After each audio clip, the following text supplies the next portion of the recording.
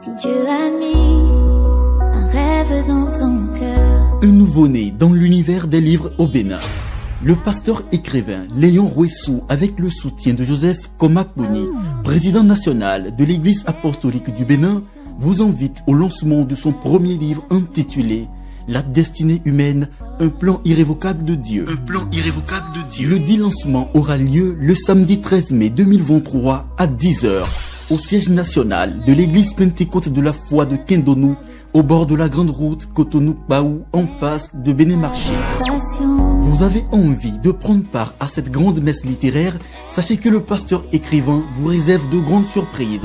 Pour tout renseignement, contactez-nous via WhatsApp au plus 229 97 10 03 96 ou le 67 00 98 92. La destinée humaine, un plan irrévocable de Dieu, quand la littérature prend corps à travers un homme de Dieu. Vous avez besoin d'un espace publicitaire pour faire connaître votre société ou vos produits. Seul Guérita TV Monde peut vous satisfaire. Pour tout renseignement, contactez le 00229 91 19 10 10.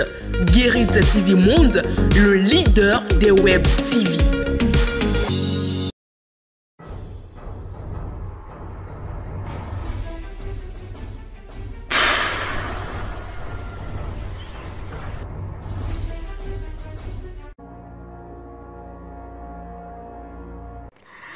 À toutes et à tous, bonsoir et bienvenue dans ce dernier numéro de votre émission Tour d'horizon pour le compte de cette semaine. Au menu du bulletin d'information, quelques faits de société ayant fait les choux gras des réseaux sociaux durant cette semaine.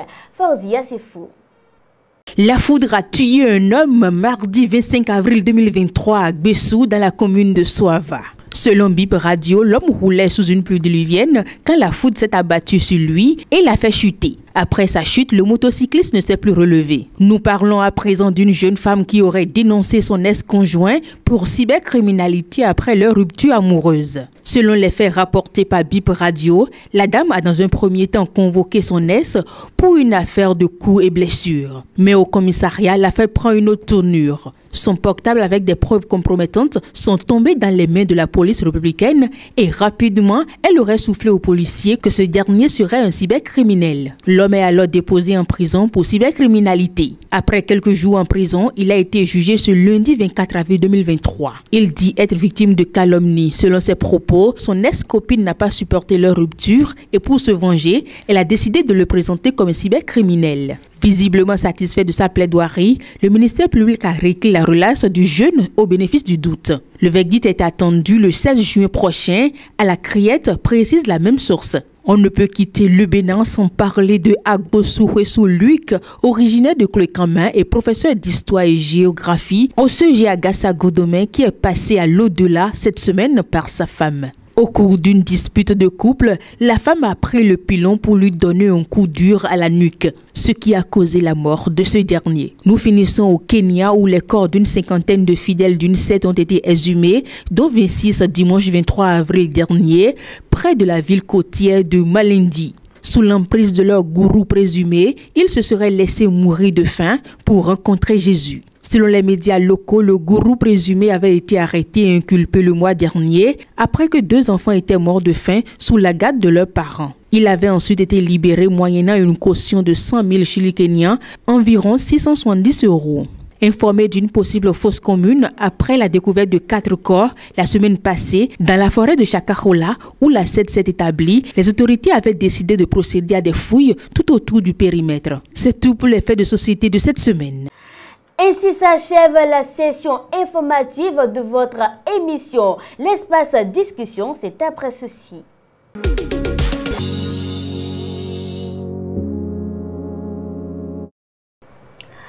De retour sur ce plateau, mesdames et messieurs, on parle aujourd'hui dans le forum de discussion de l'irresponsabilité de certains hommes avec Latifat Kawenou. Latifat Kawenou, bonjour. Bonjour Evelyne Dossou. Latifat Kawenou, des hommes ne donnent pas la popote à leurs épouses sous prétexte que cette dernière travaille. Et c'est une erreur que les hommes font en pensant que lorsque la femme travaille, ils n'ont plus besoin d'assumer leur rôle qu'est de donner la popote. Quand la femme travaille, ce n'est pas pour subvenir à toutes les charges de la maison, mais c'est pour contribuer en quelque sorte aux charges de la maison. Mais pensez que vu qu'elle travaille, vu qu'elle a un salaire, je n'ai plus besoin de contribuer ou je n'ai plus besoin d'assumer mon rôle qu'est de donner la popote.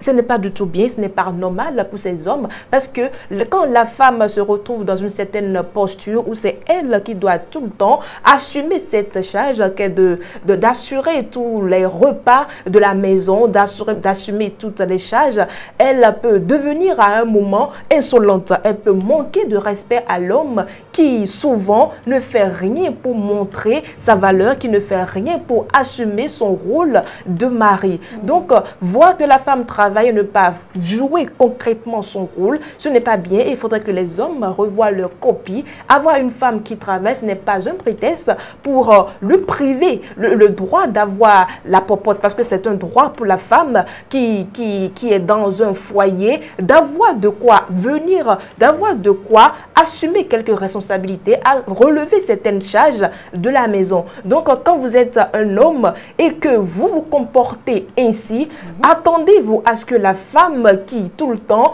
euh, répond aux besoins de la maison vous manque de respect dans, dans quelques temps. Parce que c'est ce qui amène parfois aussi les femmes euh, à violenter leur mari. Parce que quand vous êtes un homme et que vous... Justement, à ce niveau, Latifat Kaoun, vous pensez que ne pas donner la popote à sa femme peut être source de violence conjugale? Comme je le disais déjà, c'est mhm. l'une des sources des, violences conjugales. Parce que quand vous êtes un homme et que vous ne vous montrez pas, montrez, pas responsable vis-à-vis de votre femme, mais vous perdez votre valeur. Et quand vous êtes tout le temps là, vous, quand vous rentrez, c'est juste pour manger. Vous ne faites rien pour subvenir aux besoins. Popote, c'est le minimum que vous pouvez faire pour, pour vos enfants, pour la famille. Mais quand vous n'arrivez pas à faire cela, la femme qui tout le temps se voit dans l'obligation d'assurer ce rôle, elle peut vous manquer de respect, vous insulter, vous dire même que vous ne valez rien du tout. Quand la femme arrive à avoir ce genre de comportement, c'est à cause de vous-même. Parce que avant d'avoir une certaine autorité sur la femme, il faudra que vous arriviez à la dominer, que vous montrez votre force sur elle. La dominer, vous voulez dire, qu'est-ce que vous voulez dire par là Dominer, dominer, c'est pas que bon, vous, vous allez la battre, non, mais il faut un certain temps avant d'avoir un certain temps sur la femme, avant d'être un peu autoritaire, parce que quand on dit un homme, c'est celui qui dit, hé, ne fais pas ça, la femme entend. C'est celui qui dit, mes enfants, ne faites pas ça, ne faites pas ça, ils doivent exécuter. Mais quand vous êtes un homme euh, qu'on ne calcule pas, un homme qui ne fait rien, ou vous, ben vous êtes là pour manger seulement, vous ne faites rien de comme euh, responsabilité, mhm. vous n'apportez rien dans le foyer, mais euh, ne, vous attendez pas à ce qu'on vous respecte, en fait. Euh, attendez-vous à ce que vous êtes, à ce qu'on vous lègue euh, la deuxième place ou la troisième même. On va même vous minimiser parce que vous n'apportez vraiment rien, vous ne valez rien dans le foyer. Donc, la popote, ça donne, l'homme, un homme qui donne du moins la popote, ça donne au moins de la valeur. On sait que voilà, mon mari, il, il fait ci, il fait ça, ou mon mari, c'est celui qui sort et qui revient avec un colis. Mon mari, c'est celui qui ne rentre jamais sans rien apporter à la maison. Donc, être mari, être homme, ce n'est pas seulement euh, assumer votre devoir conjugal au lit, mais non. Quand vous êtes homme, apprenez aussi à faire plaisir à, votre famille. Quand vous êtes homme, il faut apprendre à assumer ce rôle qui est de donner la popote. Et l'erreur aussi, c'est que certains hommes pensent que la popote de 50 000, de 70 000 qu'ils donnent parfois, c'est assez suffisant pour couvrir toutes les de la maison. Alors, il faut combien On ne parle pas de prix, ce n'est jamais suffisant, peu importe ce que l'homme va donner. C'est pour ça on dit que c'est vraiment important que la femme travaille.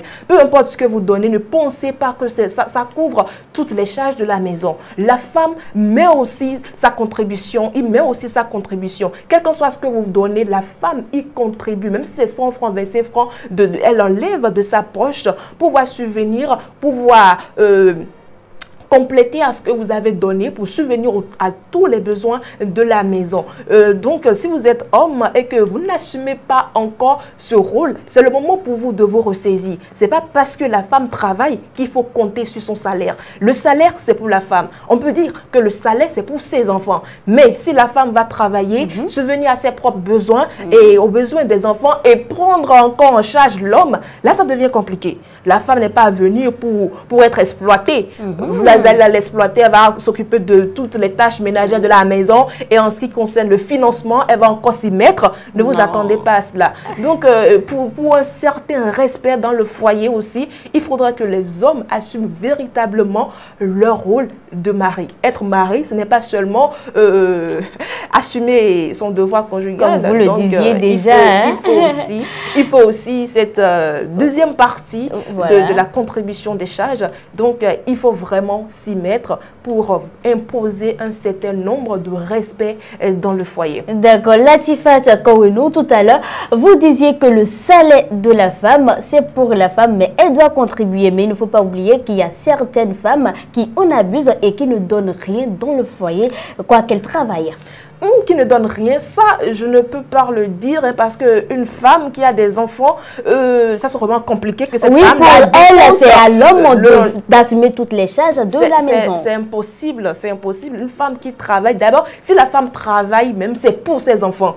La femme qui travaille, c'est d'abord pour ses enfants et après, elle pense à, elle-même après au second plan. Donc, euh, quand la femme travaille, même si la femme ne dépense pas sur son mari mhm. directement, le simple fait de dépenser déjà sur les enfants, mhm. c'est déjà euh, un plus quand même. Contribution. Une contribution. L'enfant, nous avons eu les enfants à deux. Donc, si je prends soin de mes enfants, il faut, aussi comprendre que je prends déjà d'une manière ou d'une autre soin de mon mari. Puisque nous avons conçu les enfants ensemble, bon, c'est vrai que nous sommes restés ensemble pour faire la chose et ça a donné les enfants. Donc, euh, euh, prendre déjà soin des enfants, c'est aussi une manière de dire que je prends aussi soin de mon mari. Puisque si les enfants se portent bien, c'est que nous-mêmes, on se porte également bien.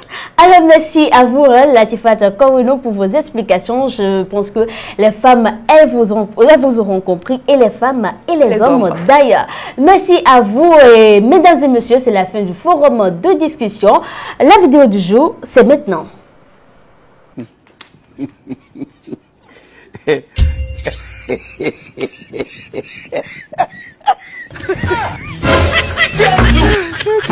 oh. Mesdames et messieurs, n'oubliez jamais que même dans les moments les plus difficiles, vous pouvez tirer les plus belles leçons de vie. Bon week-end à vous.